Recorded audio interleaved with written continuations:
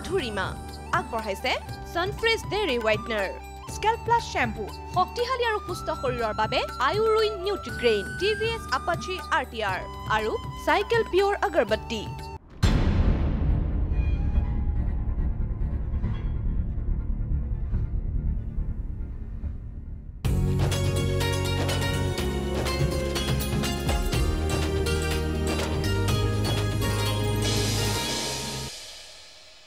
নমস্কাৰ মাধুৰিমা অনুষ্ঠানটিলৈ মই ৰেখে আপোনালোক সকলোকে স্বাগতম জনাইছোঁ। প্ৰিয় দৰ্শক অনুষ্ঠানটিত আজি আমাৰ সৈতে আছে হোমিঅ'পেথি চিকিৎসক ডক্টৰ দীপাংকৰ শৰ্মা আৰু আজি পাথৰজনিত ৰোগ সম্পৰ্কে আমি তেওঁৰ সৈতে আলোচনা কৰিম। গতিকে এই সম্পৰ্কে যদি আপোনালোকেও কিবা জানিবলৈ বিচাৰিছে তেনেহ'লে দেৰি নকৰিব।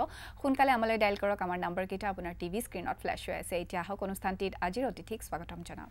ডক্টৰ অনুষ্ঠানটিলৈ আপোনাক স্বাগতম জনাইছোঁ। নমস্কাৰ। আৰু পাথৰজনিত ৰোগ সম্পৰ্কে আমি কথা পাতিম। আজি শৰীৰৰ বিভিন্ন স্থানত হোৱা পাথৰ আৰু বিশেষকৈ কিডনী আৰু গোল্ড ব্লাডাৰ যিটো ষ্ট'নৰ কথা পাথৰৰ কথা কোৱা যায়। গতিকে কিহৰ কাৰণে পাথৰ হয় কিডনীত আৰু গোল্ড ব্লাডাৰ ষ্ট'ন কিহৰ কাৰণে হয় সেই বিষয়ে জানিবলৈ বিচাৰিম প্ৰথমতে। ঠিক আছে হয়। পাথৰজনিত ৰোগ বুলি কোৱাৰ লগে লগে আমি দুটা কথাই সাধাৰণতে বুজোঁ। প্ৰথমতে হৈছে আমাৰ কিডনী ষ্ট'ন আৰু গলবাডাৰ ষ্ট'ন। কিডনীটো আমি সাধাৰণতে বৃক্ক বুলি কওঁ অসমীয়াত আৰু গলবাডাৰটো হৈছে পিত্তথলী বুলি কওঁ। আৰু এই দুটা ঠাইতে সাধাৰণতে পাথৰ হোৱা প্ৰায় দেখা যায়। কিন্তু কথা হ'ল কি যে পাথৰৰ কথা কোৱাৰ আগতে আমি অকণমান আমাৰ দৰ্শকসকলক এটা কথা ক'ব লাগিব যে কিডনীটো আমাৰ ক'ত থাকে? কিডনী মানৱ দেহত দুটা কিডনী থাকে আৰু কিডনীৰ লোকেশ্যনটো হৈছে আমাৰ পেটৰ ওপৰ ফালৰ পিছফালে ৰাজহাজৰ দুই কাষত দুটা কিডনী থাকে। আৰু কিডনীটোৰ মেইন ফাংচন কি জানানে? কিডনীৰ মেইন ফাংচন হৈছে আমাৰ শৰীৰৰ যিখিনি অলাগতিয়াল বস্তু সেই অলাগতিয়াল বস্তু প্ৰস্ৰাৱ আকাৰে সি উলিয়াই দিয়াত সহায় কৰে। আৰু কিডনীটোৰ ভিতৰত নেফ্ৰন নামৰ কিছুমান গোট থাকে আৰু সেইটো প্ৰায় ওৱান পইণ্ট থ্ৰী নিযুততকৈ ওপৰত থাকে। আৰু সেই নেফ্ৰনটোৱে কিডনীৰ ভিতৰত যিটো ব্লাড চাৰ্কুলেশ্যন ব্লাড চলাচল কৰে সেই ব্লাডৰ পৰা যিখিনি অলাগতিয়াল বস্তু সেই অলাগতিয়াল বস্তুখিনি আমাৰ প্ৰস্ৰাৱ আকাৰে উলিয়াই দিয়াত সি সহায় কৰে। আৰু সেই নেফ্ৰনৰ কিছুমান সৰু সৰু নলী থাকে সেই নলীবিলাকেৰে প্ৰস্ৰাৱটো আহি পেলাই কিডনীৰ নিষ্কাশন থলীত পৰে যিটো আমি পেলভিছ অফ মানে কিডনী বুলি কওঁ।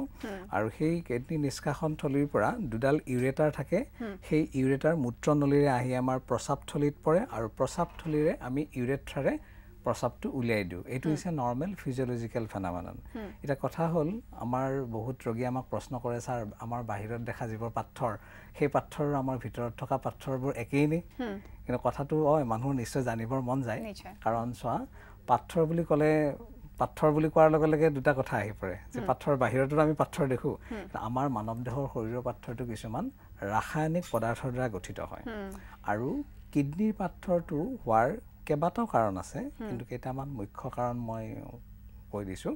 যিকেইটাৰ কাৰণে সাধাৰণতে আমি মানে প্ৰায় তেনেকুৱা ধৰণৰ ৰোগী পাই থাকোঁ। নাম্বাৰ ওৱান কাৰণটো কি জানানে? আমাৰ ভিটামিন এৰ অভাৱ। শৰীৰত ভিটামিন এৰ অভাৱৰ ফলত কিডনীৰ নিষ্কাশন থলীৰ ভিতৰৰ যিবোৰ কোষ থাকে সেই কোষবোৰ মৰি যায়।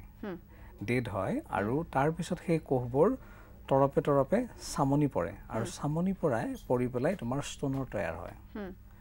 দুই নম্বৰ হৈছে আমি উষ্ণ জলবায়ুৰ কথা এটা কওঁ। এতিয়া গৰমৰ দিনত ধৰা খুব গৰম আছে আমি পানীৰ পৰিমাণটো কমকৈ খাইছোঁ তেতিয়া প্ৰস্ৰাৱত শৰীৰৰ বিভিন্ন ধৰণৰ পদাৰ্থ ওলাই যায়। তাত কেলছিয়াম থাকে অক্সিলিক এচিড থাকে ইউৰিক এচিড থাকে ইউৰিয়া থাকে ফচফেট থাকে। তেনেকুৱা ধৰণৰ বস্তুবিলাক কি হয় যেতিয়া তোমাৰ আমাৰ পানীত দ্ৰৱীভূত নহ'ব। অৰ্থাৎ তুমি যদি পানী কমকৈ খোৱা তেতিয়া কি হ'ব? সেইবোৰ বস্তু তোমাৰ পানীত দ্ৰৱণীয় নহ'ব। নহ'লে কি হ'ব? সি গোট মাৰি ধৰে। গোট মাৰি পেলাই গেঠালা মাৰি তোমাৰ ষ্ট'নৰ তৈয়াৰ কৰে। গতিকে সেইটো এটা খুব মুখ্য কাৰণ। আমি সেইকাৰণে সদায় কিডনী ষ্ট'নৰ পেচেণ্টক কওঁ যে আমি পানীৰ পৰিমাণটো সদায় বঢ়াব লাগে। কাৰণ পানী যিমানে খাব আৰু সিমানে আমাৰ প্ৰস্ৰাৱটো বেছিকৈ হ'ব আৰু তেনেকুৱা ধৰণৰ পদাৰ্থবোৰ ডিপজিশ্যন নহয়। কাৰণ পানী যদি আমি কমকৈ খাওঁ তেতিয়াহ'লে তেনেকুৱা গৰমৰ দিনত সেইবোৰ বস্তু ডিপজিশ্যন হয় ষ্ট'ন হোৱাটো খুব কমন দেখা মানে প্ৰায় দেখা পোৱা যায়। দুই নম্বৰ কথা ৰিনেল ইনফেকশ্যনৰ কিছুমান কথা আছে। যে কিডনীত কিছুমান ইনফেকশ্যন হয় আমি কথা পাতিম ইনফেকশ্যনৰ বিষয়ে ফোন কল এটা আহিছে লৈ লৈছোঁ হেল্ল' নমস্কাৰ কোনে কৈছে? ক'ব প্ৰশ্নটো? ক'ব প্ৰশ্নটো ক'ব। পাথৰৰ বিষয়ে মই মানে প্ৰথম প্ৰথম কাৰণটো। প্ৰথম কাৰণটো জানিব প্ৰথম মানে আৰম্ভণি যিটো মানে হেৰি যিটো দেখুৱাই মানে ধৰক মই পাথৰ হৈছে বুলি মই জানিব পাৰো মানে। লক্ষণ লক্ষণৰ কথা লক্ষণৰ জানিবলৈ কথা, বিচাৰিছে। হয়। নিশ্চয় আমি লক্ষণৰ বিষয়ে কথা পাতিম কাৰণসমূহৰ বিষয়ে কথা পাতি আছোঁ আপুনি অনুষ্ঠানটি চাই থাকক নিশ্চয় জানিবলৈ পাব। হয়। নহয় জানো? হয়। আমি লক্ষণসমূহৰ বিষয়েও কথা পাতিম। নিশ্চয়, প্ৰথমতে নিশ্চয়। কাৰণকেইটা জানি লওঁ হয়। কি কি কাৰণত হ'ব গতিকে পাৰে। কাৰণ মই দু- দুটা তিনিটা কাৰণ তোমাক ক'লোৱে। আৰু ইনফেকশ্যনৰ কথা মই কৈ আছিলোঁ। ইনফেকশ্যনটো হৈছে কি তোমাৰ মানে ৰিনেল ইনফেকশ্যন বিভিন্ন কাৰণত হ'ব পাৰে। আৰু সেই বীজাণু সংক্ৰমণৰ ফলত কি হয় সেই বীজাণুবিলাক মৃত যিবিলাক বীজাণু সেই মৃত বীজাণুবিলাক মানে গোট খাই কেলছিয়ামৰ লগত তৰপে তৰপে লেয়াৰ ফৰ্মেশ্যন হৈ যায়। আৰু তাত চেতৰ ৰক্তকণিকাবিলাক ডিপজিশ্যন হৈ পেলাইও তোমাৰ ষ্ট'ন তৈয়াৰ কৰিব পাৰে। আৰু এটা অতি দৰকাৰী কথা কি জানানে থাইৰইড জানাই থাইৰইডৰ কথা। যিবিলাকৰ হাইপাৰ থাইৰইডিজমৰ প্ৰব্লেম থাকে তেওঁলোকৰ আকৌ কেলছিয়াম যিটো কেলছিয়ামটোৰ নিষ্কাশনটো বেছিকৈ হয়। প্ৰস্ৰাৱত কেলছিয়াম বেছিকৈ ওলায়। গতিকে সেই মাত্ৰাত যদি যদি এজন হাইপাৰথাইৰইডিজমৰ পেচেণ্ট হয় তেওঁৰ কেলছিয়ামটো বেছিকৈ ওলাই আছে তেওঁ চাফিচিয়েণ্টলি পানী খোৱা নাই তেতিয়া তেওঁৰ কেলছিয়াম ষ্ট'ন হৈ যাব পাৰে। ষ্ট'ন বুলি ক'লে বহুত কথা ষ্ট'ন কেইবা প্ৰকাৰৰ ষ্ট'ন আছে। তোমাৰ কেলছিয়াম অক্সেলেট বেছ ষ্ট'ন আছে তোমাৰ ইউৰিক এচিড ষ্ট'ন আছে কেলছিয়াম ষ্ট'ন আছে ফচফেট ষ্ট'ন আছে। কিন্তু আমাৰ উত্তৰ পূৰ্বাঞ্চলত ষ্ট'নৰ সংখ্যা খুবেই বেছি আৰু মেক্সিমাম ষ্ট'নখিনি কি হয় জানানে? Calcium oxalate base stone calcium আৰু অক্সেলিক এচিডটোৰ বণ্ডিংটো খুব মানে ফাষ্ট হয়। সেইকাৰণে আমি যিমানবোৰ পেচেণ্ট পাওঁ প্ৰায়বোৰ ৰোগীৰে কিন্তু মেক্সিমামখিনিয়ে কেলছিয়াম অক্সেলেট বেছ ষ্ট'নে পোৱা যায়। আৰু ইয়াৰ কাৰণটো? অঁ কাৰণটো মই ক'লো ন কেলছিয়াম খুব দৰকাৰী কথা এটা তুমি সুধিছা যে কেলছিয়াম অক্সেলেট কিয় আমি মানে বেছিকৈ পাওঁ? কেলছিয়াম অক্সেলেট কেলছিয়াম আৰু অক্সেলিক এচিডৰ বণ্ডিংটো খুব মানে ফাষ্ট হয় কাৰণে কেলছিয়াম অক্সেলেট বেছ ষ্ট'নটো আমি পাওঁ। কিন্তু আহাৰত চোৱা আহাৰত যেতিয়া তুমি কেলছিয়াম আৰু অক্সেলিক এচিডযুক্ত আহাৰ একেলগে খোৱা তেতিয়া সেই বণ্ডিংটো খুব ফাষ্ট হয়। গতিকে কিছুমান বস্তু আমি জানিব লাগিব যে যি ট্ৰিটমেণ্টে নকৰা মই আগৰ বা আগত মাততেও মই কৈছিলোঁৱে যে ট্ৰিটমেণ্ট তুমি if you go' through in homeopathy ayurvedic allopathic whatever you use যে medicine will help you always eighty percent and twenty percent is a management so' management পাৰ্টটো কিয় দৰকাৰী জানানে? যদি আহাৰৰ বস্তুটো তুমি ভালদৰে নাজানা তেতিয়া আমি বহুতখিনি ডিজিজক নিমন্ত্ৰণ জনোৱাৰ নিচিনা হয়। গতিকে আহাৰৰ ওপৰত বহুতখিনি কথাই নিৰ্ভৰ কৰে। গতিকে কথা হ'ল কি যিটো মই কেলছিয়াম অক্সেলেটৰ কথা কৈছোঁ কোনবোৰ বস্তুত কেলছিয়াম থাকে কোনবোৰ বস্তুত অক্সেলিক এচিড থাকে। এইটো খুব দৰকাৰী কথা। গতিকে কিডনী ষ্ট'নৰ পেচেণ্ট এজনে সেই কথাটো খুব ভালদৰে জানিব লাগে। দৰৱটো আমাৰ দায়িত্ব। আমি দৰৱ দিম দৰৱ খাব ওলাব সেইটো আমাৰ। কিন্তু তেওঁ কি খাব লাগিব কি খাব নালাগিব কাৰণ কিডনী ষ্ট'ন হোৱাৰ লগে লগে তোমাৰ দেখিবা এবাৰ ষ্ট'ন ওলাই যোৱাৰ পিছত প্ৰায় নাইণ্টি নাইন পাৰ্চেণ্ট টেণ্ডেঞ্চি থাকে আকৌ ফৰ্মেশ্যনৰ কাৰণে। গতিকে সেইটো নহ'বৰ কাৰণে আমি কি ব্যৱস্থা কৰিব লাগিব? গতিকে কিডনী ষ্ট'নৰ মেইন যিটো কেলছিয়াম অক্সিলেটৰ কথা ক'ব বিচাৰিছোঁ সেইটো হৈছে তোমাৰ কেলছিয়াম ক'ত থাকে মই নক'লোঁ নিশ্চয় আমাৰ দৰ্শকসকলেও জানে। গতিকে জানেই। কিন্তু অক্সিলিক এচিডৰ কথাটো মই কৈছোঁ। আমি ৰাতিপুৱাই আৰম্ভ কৰোঁ আমাৰ এটা নিয়ম ধৰা চাহকাপ নোখোৱাকৈতো আমি আমাৰ ৰাতিপুৱাটো ভাল দিনটো ভালদৰে নাযায়। গতিকে ৰাতিপুৱা শুই উঠি যি কাপ চাহ খাওঁ চাহত কি থাকে জানা? Oxalic acid. টি। আৰু আমি কি কৰোঁ তাত? গাখীৰ ঢালি দিলোঁ। গাখীৰত থাকে কেলছিয়াম। চ' চাহ আৰু গাখীৰৰ যিটো কম্পজিশ্যন কেলছিয়াম অক্সিলেট। আৰু সেইটো যদি আমি খুব থকথকীয়া একেবাৰে কাৰা চাহ খোৱা আৰম্ভ কৰোঁ সি ষ্ট'ন হোৱাৰ এটা ডাঙৰ কাৰণ। আৰু সেইটো কেলছিয়াম অক্সিলেট বেছ ষ্ট'ন হয়। দুই নম্বৰ কথা আৰু অক্সিলিক এচিড থকা আহাৰ কেইবাটাও আছে যেনে পালেং শাক পালেং শাকত প্ৰটিন থাকে বহুত কিবা কিবি থাকে অক্সিলিকৰ পৰিমাণটো বহুত হাইত থাকে পালেং শাকত থাকে ব্ৰকলিত থাকে বিটত থাকে ছালগুমত থাকে মূলাত থাকে তেনেকুৱা জাতীয় বস্তু বিলাহীত থাকে অক্সিলিকৰ পৰিমাণ যিহেতু বেছি থাকে সেইবোৰ বস্তু কেতিয়াও কেলছিয়ামৰ লগত প্লাছ কৰিব নালাগে। যেনে মই আৰু এটা উদাহৰণ তোমাক দিছোঁ পালক পনীৰ আমি খুব খাই ভাল পাওঁ নহয় জানো। পালেং শাক আৰু পনীৰ। এজন কিডনী ষ্ট'নৰ পেচেণ্টে যদি পালক পনীৰ খুৱাই থকা হয় তেওঁৰ ষ্ট'নটো বঢ়াতকৈ দুগুণ বাঢ়ি আৰু বেছিহে হ'ব। কাৰণ পনীৰ মানে গাখীৰ প্ৰটিন মানে কেলছিয়াম আছে। আৰু ইফালে তোমাৰ অক্সিলিকৰ বণ্ডিং হৈ আছে। আৰু তেনেকুৱা ধৰণৰ আহাৰ খাই যদি মানুহজনে পানীৰ পৰিমাণটো ঠিকমতে নাখায় তেতিয়াহ'লে তেওঁৰ কেলছিয়াম অক্সিলেট বস্তন হোৱাৰ প্ৰৱণতাটো খুবেই প্ৰবল। এতিয়া ধৰি লওক কোনো এজন ব্যক্তিৰ তেনেকুৱা ধৰণৰ সমস্যা নাই বা কিডনী। ষ্ট'ন হোৱা নাই। কিন্তু তেওঁ যদি পালক পনীৰ তেনেকে খাই থাকে বা তাৰ পিছতো হোৱাৰ সম্ভাৱনা থাকে নেকি তেনেকুৱা খাদ্য সেইটো খোৱাৰ এটা খুব দৰকাৰী কথা।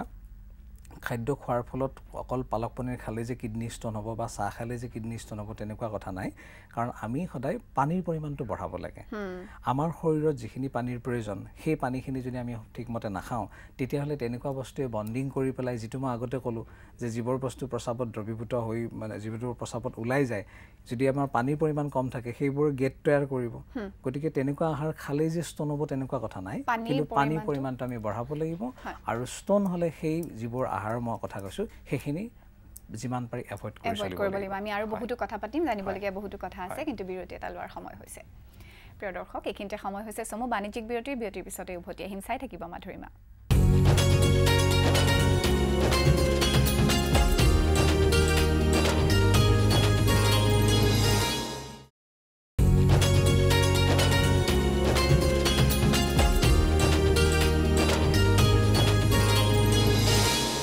বিৰতিৰ পিছত পুনৰ স্বাগতম জনাইছোঁ। অনুষ্ঠানটিত আজি আমি কথা পাতি আছোঁ হোমিঅ'পেথিক চিকিৎসক ডক্টৰ দীপাংকৰ শৰ্মাৰ সৈতে আৰু আজি পাথৰজনিত ৰোগ সম্পৰ্কে তেওঁৰ সৈতে আলোচনা কৰি আছোঁ। আহক তেওঁক তেওঁৰ সৈতে পুনৰ কথা পাতোঁ। হয় আমি পাথৰ কিডনী ষ্ট'নৰ কথা পাতি আছিলোঁ আৰু কি কি কাৰণত হয় সেই বিষয়ে অলপতে আমাক এটা প্ৰশ্ন কৰিছিলে যে তেওঁ লক্ষণ বিষয়ে জানিবলৈ বিচাৰিছে আচলতে কিডনী ষ্ট'ন হোৱাৰ লগে লগে তোমাৰ যদি কিডনী ষ্ট'নৰ ষ্ট'নটো যদি যথেষ্টখিনি ডাঙৰ হয় তেতিয়া তীব্ৰ ধৰণৰ বিষ এটা হয়। আৰু সেই বিষটো সদায় আমাৰ সোঁফাল বা বাওঁফালে বেক চাইডে হয়। বেক চাইডৰ পৰা বিষটো লাহে লাহে আহি আমাৰ তলপেটলৈ পাইগৈ লগত তেওঁৰ চিভিয়াৰ ভমিটিং হ'ব পাৰে লুজ মোচন হ'ব পাৰে উকালি আহিব পাৰে।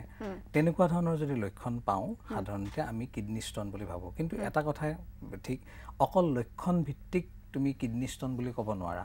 কাৰণ বৰ্তমান আধুনিক যুগত এতিয়া আল্ট্ৰাছ'ন'গ্ৰাফি স্কেন এইবিলাকৰ ব্যৱস্থা ওলাইছে এক্স ৰে গতিকে আমি এক্স ৰে আল্ট্ৰাছন আৰু হেৰি ব্যৱস্থাৰ ওপৰত নিৰ্ভৰ কৰি পেলাই সেইবোৰ যেতিয়া আমি চাওঁ তেতিয়াহে গম পাওঁ যে আচলতে কিডনী ষ্ট'ন হৈছে নে নাই।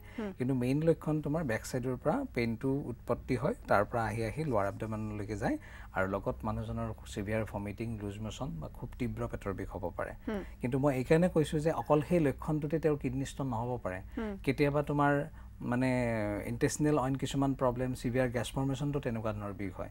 বা আমি যিটো এতিয়া ধৰা আমি কোৱা নাই এতিয়ালৈকে পিত্তথলীত যদি পাথৰ হয় কলবেডাৰ ষ্ট'ন যদি হয় তেতিয়াও তেনেকুৱা ধৰণৰ তেওঁৰ লক্ষণ কিছুমান আহিব পাৰে। গতিকে আমি সদায় পেটৰ বিষ হোৱাৰ লগে লগে আল্ট্ৰাছ'ন'গ্ৰাফি এটা কৰাটো খুবেই নিতান্ত প্ৰয়োজন আৰু আল্ট্ৰাছ'ন'গ্ৰাফিৰ ৰিপৰ্ট মতে যেতিয়া আমি গম পাম যে এইটো ষ্ট'ন হয় সেইমতেহে আমি দৰৱবোৰ প্ৰেছক্ৰাইব কৰোঁ। নিশ্চয়। এতিয়া প্ৰশ্নটো হ'ব যে কিমানমান ষ্ট'নটোৰ বা পাথৰটোৰ কিমান আকাৰটো কিমানমান ডাঙৰ হ'লে বা পৰিমাণটো কিমানমান ডাঙৰ হ'লে লক্ষণে প্ৰথম প্ৰথম দেখা দিয়ে? অঁ নাই কেতিয়াবা কিছুমান ষ্ট'ন আকৌ খুব দিগদাৰী হয় কি চাইলেণ্ট ষ্ট'ন থাকে। তোমাৰ তুমি ফ'ৰ ফাইভ এম এললৈকে গমেই নাপাবা। কেতিয়াবা হঠাৎ অইন কিবা এটা সমস্যাৰ কাৰণে তুমি ডক্টৰৰ ওচৰলৈকে গৈছা তেতিয়া আমি ধৰা তোমাক কিবা এটা হেৰি কৰাৰ কাৰণে আমি আল্ট্ৰাচাউণ্ড প্ৰেছক্ৰাইব কৰিলোঁ কিন্তু তুমি দেখিলা যে তোমাৰ ইতিমধ্যে ষ্ট'ন তোমাৰ সৰু ষ্ট'ন এটা আছেই। বহুতো তেনেকুৱা হয় যে কিবা চিভিয়াৰ গেছ ফৰ্মেশ্যন হৈ আছে বা পেটৰ বিষ হৈ আছে অইন কিবা সমস্যাৰ কাৰণে আহিছে আমি আল্ট্ৰাচাউণ্ড এটা এডভাইচ কৰিলোঁ তেওঁ আল্ট্ৰাচাউণ্ড ৰিপৰ্ট অহাত আমি কেতিয়াবা ষ্ট'নটো পাই যাওঁ। সেইবিলাক চাইলেণ্টলি থাকে কিন্তু চাইলেঞ্চ ষ্ট'নটো বৰ ডেঞ্জাৰাছ কাৰণ চাইলেণ্টকৈ থাকি পেলাই যদি ধৰা পিছত বহুত ডাঙৰ হৈ যায় তেতিয়া যথেষ্টখিনি কমপ্লিকেশ্যন আহে। কাৰণ হঠাৎ কেতিয়াবা প্ৰস্ৰাৱটো বন্ধ হৈ যাব পাৰে। মানে খুব ইমাৰ্জেঞ্চি এটা ষ্টেজত আহি যায়। সেইকাৰণে অৱশ্যে লক্ষণটো মেইনলি এনেকুৱা তেখেতে যিটো প্ৰশ্ন কৰিছিলে যে আমাৰ পেটত যেতিয়া বিষ হ'ব বা তেনেকুৱা ভমিটিং টেণ্ডেঞ্চি থাকিব তেতিয়া কিন্তু আল্ট্ৰাছ'ন'গ্ৰাফি এখন নকৰাকৈ কেতিয়াও দৰৱ খাবলৈ নাপায়। আৰু কৰাটো খুব দৰকাৰী বুলি মই ভাবোঁ। নিশ্চয়। এতিয়া আপুনি আকাৰটোৰ কথা ক'লে কিমানটোমান হ'লে আৰু চাইলেণ্ট ষ্ট'ন বা চাইলেণ্ট হৈ কিয় থাকে তাৰ কিবা বিশেষ কাৰণ আছে নেকি? তেনেকুৱা বিশেষ কাৰণ তোমাৰ ধৰা হয়তো কিছুমানৰ ফুড হেবিট বা তেনেকুৱা হেৰিৰ কাৰণে কি হয় এটা সময়ত খুব আহাৰবোৰ ভালদৰে খোৱা নাছিল। মই আমি যিবোৰ কৈছোঁ তেনেকুৱা ধৰণৰ নিষিদ্ধ ভোজন কিছুমান কৰিছিলে বা পানী কমকৈ খাইছিলে তেওঁৰ ষ্ট'ন ফৰ্মেশ্যন হৈ গ'ল। কিন্তু তাৰপিছত ধৰা তেওঁৰ আহাৰটো লাহে লাহে ঠিকমতে তেওঁৰ নৰ্মেল গতিত আহিলে। পানীৰ পৰিমাণটো তেওঁ বেছি খাইছে কিন্তু ইতিমধ্যে তেওঁৰ ফৰ্মেশ্যন এটা হৈছে। কিন্তু ইন বিটুইন যদি তেওঁৰ মানে আল্ট্ৰাছ'নগ্ৰাফি এটা কৰা যায় তেতিয়া ষ্ট'নটোৱে বিশেষ দিগদাৰী কৰা নাছিল কিন্তু এটা ষ্ট'ন তেওঁৰ অলৰেডি আছে তেনেকুৱা ধৰণৰ কিছুমান চাইলেণ্ট ষ্ট'ন থাকে। বিশেষ দিগদাৰী নকৰাকৈ মানে সি শুই থকাৰ নিচিনা হয়। কিন্তু সেইবোৰ বস্তু মানে যেতিয়া আমি আল্ট্ৰাচাউণ্ড কৰোঁতে পাম তেতিয়া তাৰ ট্ৰিটমেণ্ট দি পেলাই তাক সোনকালে উলিওৱাৰ ব্যৱস্থা কৰিব লাগে। নহ'লে সেইবোৰ বস্তু কিন্তু কেতিয়াবা কেঞ্চাৰৰো কাৰক হ'ব পাৰে। কাৰণ সি পিছত গৈ পেলাই ইণ্টাৰনেল কিছুমান ইঞ্জুৰি কৰিব ইণ্টাৰনেল কিছুমান চেল টিচু ডেমেজ কৰিব আৰু সেইবোৰ ডিকম্প'জন হৈ পেলাই গৈ পিছত তিলটোকে তাল হোৱাৰ মানে ৰেকৰ্ড আছে নিশ্চয় গতিকে খুবেই সাৱধান হোৱাৰ প্ৰয়োজন এতিয়া চিকিৎসাৰ। কথা যদি পাতিবলৈ যাওঁ। তেনেহ'লে হোমিঅ'পেথিক চিকিৎসা কেনেকুৱা হয়? চোৱা আমাৰ হোমিঅ'পেথিক চিকিৎসা পদ্ধতিত ষ্টনৰ চিকিৎসাৰ এটা বিশেষ নাম আছে কাৰণ বহুতেই ভাবে অঁ আমাৰ আধুনিক যুগত বিভিন্ন ধৰণৰ উপায়ৰ দ্বাৰা আমি ষ্টনটো উলিয়াব পাৰোঁ লিথট্ৰপচি বা তেনেকুৱা ধৰণৰ হেৰিৰ দ্বাৰা কিন্তু আমাৰ তেনেকুৱা ধৰণৰ কষ্ট নোপোৱাকৈ যদি দৰৱৰ দ্বাৰা ষ্টনটো উলিয়াব লগা হয় তেতিয়া হোমিঅ'পেথিক চিকিৎসা পদ্ধতি আটাইতকৈ উত্তম চিকিৎসা পদ্ধতি বুলি মই ক'ব খোজোঁ। কাৰণ আমাৰ চিকিৎসা পদ্ধতিত আমি আল্ট্ৰাছ'ন'গ্ৰাফি কৰি পেলাই ষ্টনৰ চাইজ ছেপটো চাই লওঁ কোনটো পজিশ্যনত আছে চাই লওঁ আৰু সেইমতে আমি তেওঁক তেওঁৰ লক্ষণ তেওঁৰ গোটেইখিনি শৰীৰৰ হেৰিবোৰ লৈ আমি দৰৱবোৰ প্ৰেছক্ৰাইব কৰোঁ আৰু প্ৰেছক্ৰাইব কৰাৰ খুব কম দিনৰ ভিতৰত তোমাৰ উইদিন এ মান্থ এমাহ দুমাহৰ ভিতৰত তেওঁৰ আটাইকেইটা ষ্টন ওলাই যায়। নিশ্চয় আমি তাৰ কথা লগত- পাতিম হয়। আৰু বহুতো জানিম এই বিষয়ে পুনৰ বিৰতি এটা লোৱাৰ সময় হৈছে। প্ৰিয় দৰ্শক এইখিনিতে সময় হৈছে পুনৰ চমুৱতী বাণিজ্যিক বিৰতি বিৰতিৰ পিছতে উভতি আহিম। চাই থাকিব মাধুৰিমা।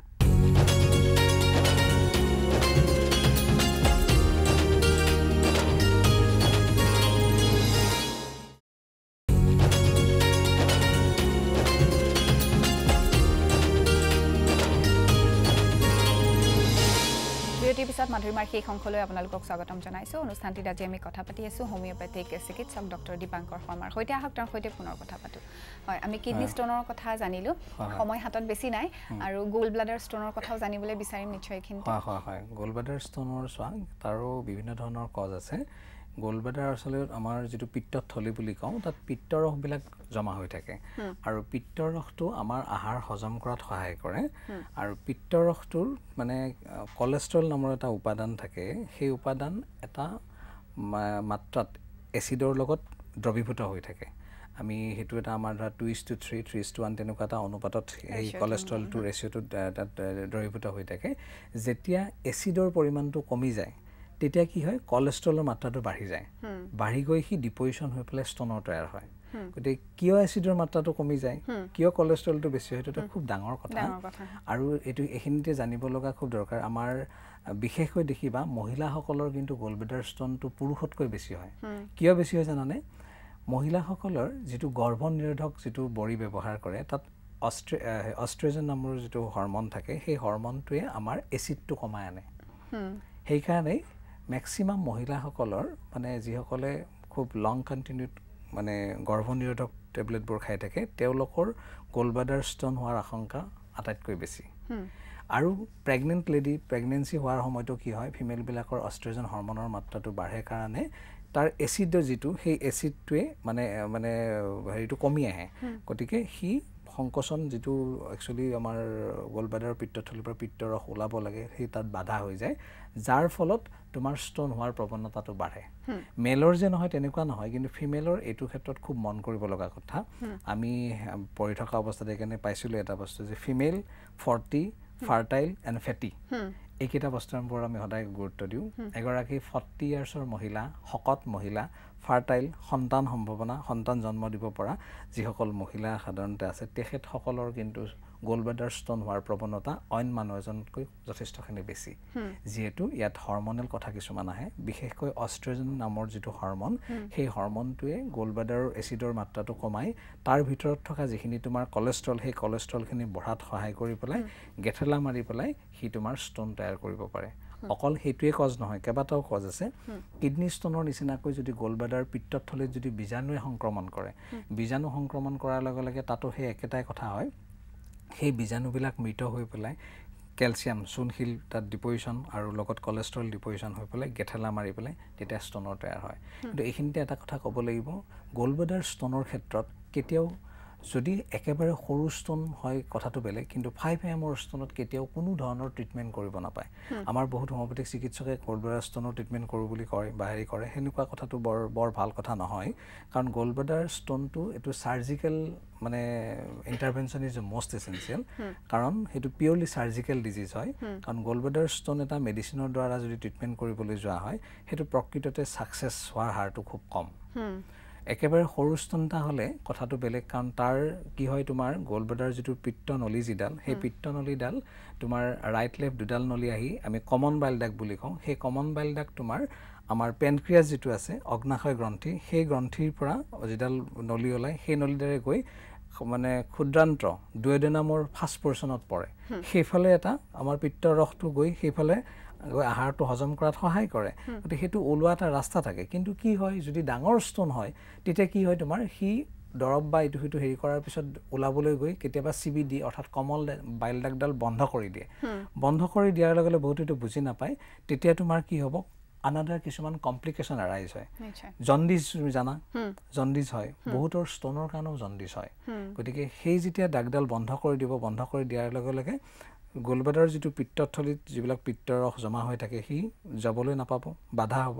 আৰু যেতিয়া বহুদিন তাত ষ্ট'ৰ হৈ থাকিব সেইবোৰ মানে লাহে লাহে লাহে লাহে তাত শুহি ল'ব লৈ পেলাই সেই অতিৰঞ্জক যিবিলাক হেৰি থাকে সেইবোৰ গৈ পেলাই ব্লাডৰ লগত মিলি যাব।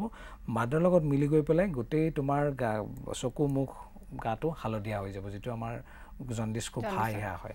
আৰু তাৰপিছত গৈ পেলাই যকৃতটো লাহে লাহে কোষবিলাক মৰিবলৈ ধৰে। গৈ আমি হেপাটিক কমা বুলি কওঁ। বিভিন্ন ধৰণৰ কমপ্লিকেশ্যন আহিব পাৰে। গতিকে যিবিলাক বহুত অনভিজ্ঞ কিছুমান মানুহ আছে যিবোৰে ভিতৰৰ কিছুমান কথা নাজানে কিন্তু ট্ৰিটমেণ্টত হাত দিয়ে তেনেকুৱা নকৰাই মই শ্ৰেয় বুলি ভাবোঁ। আৰু এটা কথা আমি সদায় গুড ইনফৰমেশ্যনটো ৰোগীসকলক বা আমাৰ দৰ্শকসকলক দিব লাগে যে যিটো বস্তু যিটো ছিষ্টেমত হয় সেইটোহে কৰাৰ উচিত। কাৰণ এনেই অন মানে অন্যথা মানে তুমি কিছুমান মানে মিছা কথা প্ৰলোভ দি পেলাই কেতিয়াও ট্ৰিটমেণ্ট কৰাটো একেবাৰে একেবাৰে আমাৰ। হাতত সময় নাই। আপুনি অনুষ্ঠানটিলৈ আহিলে বহুতো কথা জনালে। তাৰ কাৰণে ধন্যবাদ জনাইছোঁ। ধন্যবাদ। প্ৰিয় দৰ্শক এয়া আছিলে হোমিঅ'পেথি চিকিৎসক ডক্টৰ দীপাংকৰ শৰ্মা। তেওঁৰ পৰা আপোনালোকে পাঠৰ সম্পৰ্কে আজি বহুতো কথা জানিবলৈ পালে বুলি আশা ৰাখিছোঁ পিছে অনুষ্ঠানটিৰ পৰা বিদায় লোৱাৰ সময় হৈ গ'ল। মই ৰেখা এইখিনিতে সামৰণি মাৰিব লাগিব। কাইলৈ এই একেটা সময়তে একেটা চেনেলতে মাধুৰীমা অনুষ্ঠানটিত আপোনাক পুনৰ লগ পাম। আজিলৈ এইখিনিতে এৰিছোঁ। ধন্যবাদ। মাধুৰিমা আগবঢ়ালে Sunfresh dairy whitener Scalpe Plus shampoo শক্তিশালী আৰু সুস্থ শৰীৰৰ বাবে আয়ুৰুইন Nutrigrain T V S Apache R T R আৰু চাইকেল পিয়ৰ আগৰবত্তি